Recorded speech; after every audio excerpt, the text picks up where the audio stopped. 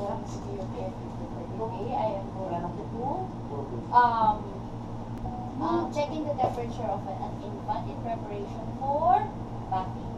Okay, first is um, I'm going to introduce myself. I don't going to take temperature temperature for in preparation for bathing. Okay, so next is you need to uh, wash your hands and uh, prepare the materials that you need. So you have here alcohol, you have here the cotton balls, you have here the digital thermometer, the the, uh, glass thermometer, the propan thermometer, you have here the petroleum jelly, and I have here the, assuming I have here the soapy water and what, uh, uh, soapy water and water with alcohol and for the discarding materials. So there, nakalimutan ko, three basics pala muna. Yun. And then, kidney basics. Okay, so I have here the White. wipes. Okay, na-mention ko na ba? And a rubber mat. So, okay, I put the rubber mat to, uh, not to stain the bed or kung saan man siya. So, you put it under the, under, under the back.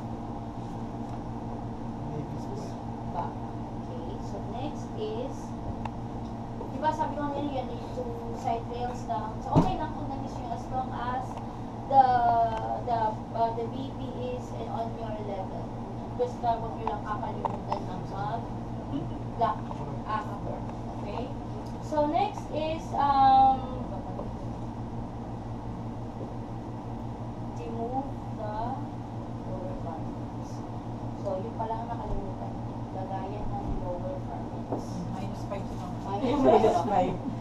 Kailangan ko ng basin dyan. Kaya ako na. Kaya sabi ko pa naman, may basin dyan, nilagay ko sa kabila. Yan na.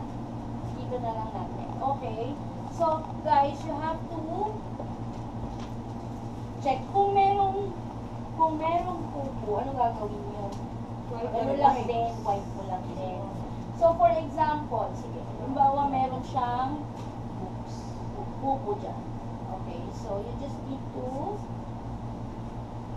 glide the wipes from genitalia down to the anus. So, kung marami, hindi magnanil, mag-ano ka pa rin. Pero, mag, ga- gagamit ka pa rin ng wipes hanggang sa matagal siya. But guys, sa inyo, isa-isa lang ha. Ah, sayang naman. Okay. So, yun. Then, you need to discard. Okay. So, kaya kami rubber mat dyan. So, next is, so you need to cover the baby first you need to cover the first because because you're going to sanitize and sanitize your temperature. But, again guys ah, isa lang yung sasabihin ko na gagamitin ninyo. Pero gagamitin ko rito tatlo. Kasi pwedeng isa doon ipagamit sa inyo.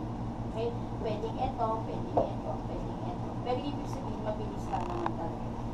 So, next is, um, going to use, ano gusto gamitin ko? Digital lang. So, hindi, ito na muna. Okay, guys, kung ito kasi, gagamitin ninyo, this is what? The gas, ther- gas thermometer, the, ax- uh, the, uh, the uh, thermometer used for the axilla. So. So, next is, um, you have to soak it or immerse it in the Soapy soapy water. water. So, anong nakalagay dyan? From bulb to stem or stem to bulb? Bad Stem to stem. Stem to bulb or to stem? Bad to Bulb to stem. stem. Bakit? Kasi yun ang pinaka-cleans from dirtiest to the. So, make sure dun sa cleanest one, no? And then discard. And then, ito naman, water with alcohol. So, yun. So, yun na rin yung parang pinaka-rinse mo. Okay? So, next is, you have to raise the, again, so, ba, assuming this is uh, Rectal. rectal, ito yung may bulb na maliit. So, ilalagay mo siya. So, guys, kapag kagagamit kayo nito, make sure that you're going use the petroleum jelly bucket. Lubricant. So, para it's actually serves as a lubricant para hindi masakit kayo. Oo. Oo. So, Hindi mo makakalimutan yan. Oo, hindi namin nakakalimutan yan. everyday use. Malalaki thermometer. Okay, next is you have to insert, no? So make sure do not put any force when you put things. So just then make sure to hold the legs of the baby. So yan, so you have to count ilang minutes pag sa rectal. One to one.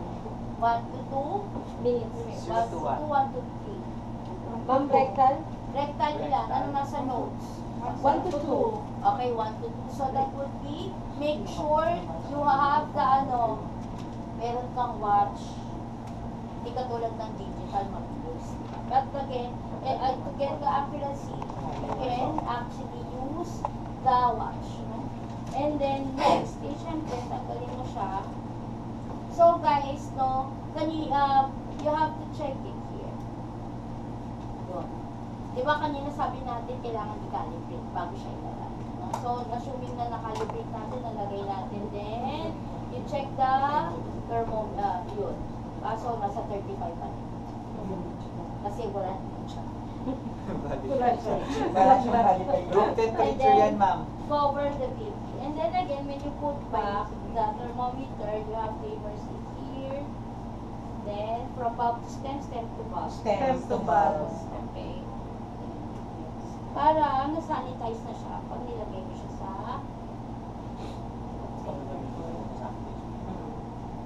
Dahil ito naman ito, papakita ko lang sa inyo. Paggamit naman dito, itong tympanic. So sa tympanic, meron tayong tinatawag na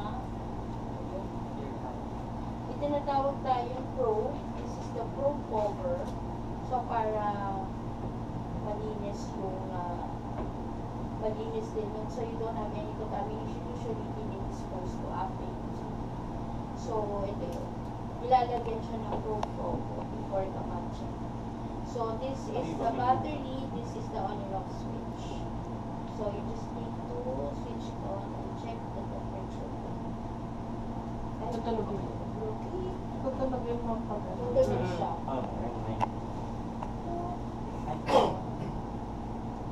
Wala nang battery. Dahil yan, wala nang battery. Hindi mo tagal na rin kasi. For demonstration. Also, tapos get the 36. So, bago naman to guys, since dapat, di ba, ang pro, ah, may probe kasi, kaya parang minsan you don't, you don't mind kung ito ay nalis. Pero, hanggat maaari, before using it, kailangan i-clean out natin siya. Ganito lang naman. I-clean mo lang yung area kasi hindi mo naman pwede yung loob yan dyan. Okay. O diba, ang dami ko nang nagamit. May trolley pa naman tubig. So, dapat, bago din talaga yung cover. Marami to, may nabibili ata. But again, Natapon na yun. Hmm, after. Ako naman kayo gumana. Oo, bilhin pa ako. mamadali na kayo sa atin. Oh, next, ito na yung gagamitin talaga natin, guys. Ito kasi pwede rin to sa rectal, no? Pwede rin to sa sila. So, yun nga lang kasi minsan, kung any, parehas, malik, ma, malikot din si baby, so you need to make sure to uh, guide or um, make sure to control the baby's uh, movement, no? So, you need to immerse it, yung kahit yung valve. Pwede rin naman, guys, gagamitin mo. Ba yun? So, pwede nyo rin naman na immerse to soapy, with water, then para kasi, kasi baka mag-aksidente, bigla nang malagay lahat, di ba? Wala nakakaano yung emosyon. Okay, next is get the raise the leg, and then get the again, get uh, put ba ito? Then, Ano naman? Sa saglit na, as, you, as soon as you hear the beeping sound, it indicates the, the thermometer was able to get the, uh, the accuracy. Or sa sa temperature the And check nyo, sabihin nyo, um, the baby's temperature is 36. I can proceed with the back. Okay, so, so again, cover the baby. This time, dahil medyo matagal ka, you to make sure that you lack the signage. Again, ang gagawin nyo naman, so, sanitize ulit. Actually guys, mabilis lang to napapaliwanag lang din kasi ako. Pero pag kayo na, mabilis na. Mga 20 to 30 minutes. Kaya na. Ang talaga siya rectal, hindi siya clean. Pwede din naman talaga. Kaya lang yung para mapakita natin yung accuracy ng uh, uh, uh, the result ng uh, temperature. But pwede naman. Pero gagawin namin ng bukas rectal. Rectal. Pero on actual, syempre sa baby, actually, it's more easier to get. So we just wanted to be consistent of getting the accuracy. So next is you have to prepare the materials for bathing. Okay, what do I have here? I have here the apron. Hindi ko nasabi apron kasi guys, guys huwag nyo nang pansinin kung nakalimutan nyo to kasi less points. Anyway, you can change your clothes. Kaya lang naman tayo naging apron. In most cases kasi make sure that the apron is clean.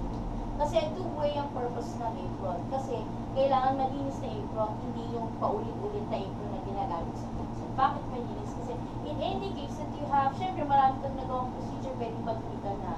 So the clean na apron will actually protect you, protect the apron from any other possible microorganism na meron ka. Okay, so ito yung gagawin. No?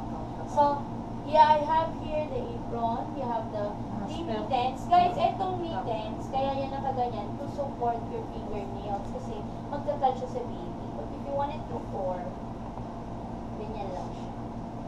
Pero kung na kung medyo nagulo-gulo na siya, syempre hindi nyo naman mamimaintain, hayaan nyo lang. As long as naka, natatakpan nyo yung mga kuko nyo na hindi nakatouch eh. Kasi yung iba tumatagal at kailangan